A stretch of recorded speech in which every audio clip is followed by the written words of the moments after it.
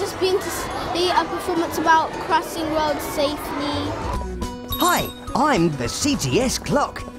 Today, I'm going to help you learn how to cross the road safely. Mr. Clock and the musicians helped us cross the road.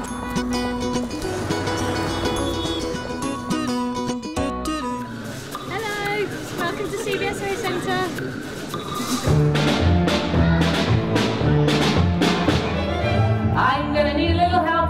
From. If I ask you for a rule, will you tell me what to do? Well, this is the Clock on to Safety Schools performances, and it's sponsored by DBS Lawyers and work that they do in schools around road safety. Well, music is a, is a great way of engaging children, and a message can get across much more powerfully with a song and with some, some good, strong words and, and, a, and a fun experience. CBSO got me involved as a professional storyteller to weave a narrative that would bring the music into play and cover all the road safety aspects and also make it a bit of fun for the children. I'm going to cross the road.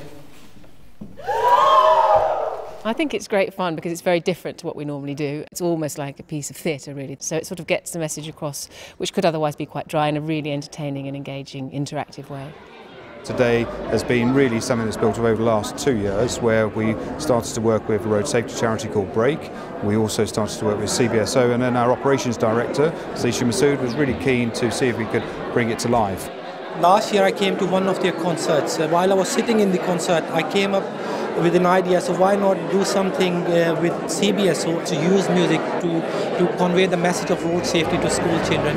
It was brilliant to see other people play live instruments. I saw the piano, the drums, um, the flute, the flute, and and the violins. I really enjoyed the music. I've learnt that if you if you want to cross a road and you want to get to the other side of the road, you better um, follow the four rules before you do it. One is uh, find a safe place to cross. You have to look both ways and um, listen hard and cross the road straight.